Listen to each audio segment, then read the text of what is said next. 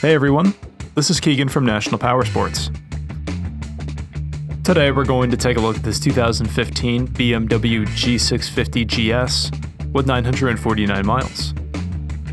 Powered by a 652cc single-cylinder engine with a 5-speed transmission, the G650 GS puts out 50 horsepower at 6,500 RPM and 44 foot-pounds of torque at 4,800 RPM that has a seat height of 30.7 inches and a dry weight of 387 pounds.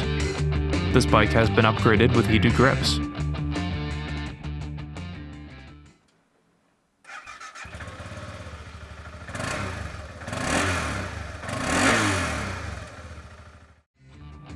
This opportunity vehicle is being sold as is without a warranty. We encourage you to see and hear the bike in person.